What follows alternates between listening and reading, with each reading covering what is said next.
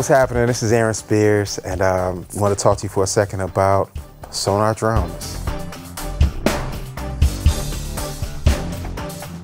So I'm extremely excited to be able to be a part of uh, the Sonor family.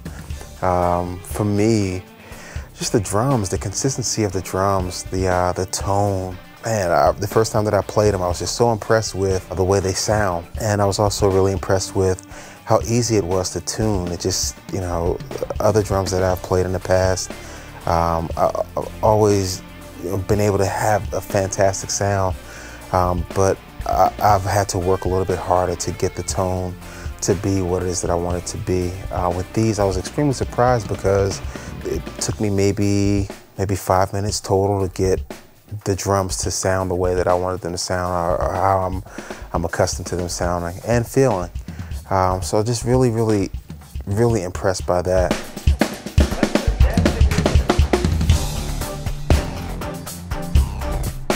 I'm really also excited about the the uh, configurations as far as the shells and you know what does what you know with the heavy, the medium, the the light, how that affects the sound, and it's just a an exciting world to to be a part of. I'm just really happy and thankful to be able to play these drums. It's crazy.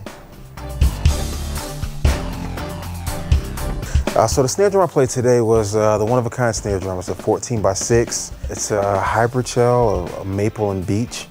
Uh, to me, man, the, the construction of the, of the snare, first of all, is extremely solid. I mean, it's so well put together. Uh, the craftsmanship is really, really amazing. Uh, when I play the drum, I, I, played it yesterday for a little while and it was tuned super duper low, like really, really low. And the response of the snare and the tone of the snare was remarkable. I mean, it's just such a well-made drum. Uh, today I played it uh, tuned up. Even still, the sensitivity and the tone of the drum just was it's fantastic. It's a beautiful, beautiful drum. Uh, when we went to the studio and we are just kind of like, uh, referencing the mix.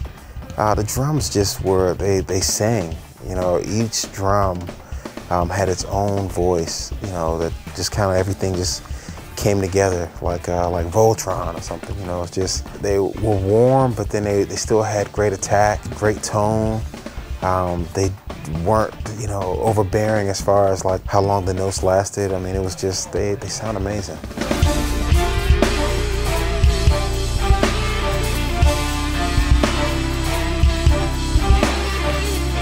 Again, this is Aaron Spears, and uh, man, so thankful to be able to be part of the uh, Sonor family, and uh, I look forward to you guys checking out uh, more stuff with me and Sonor in the future.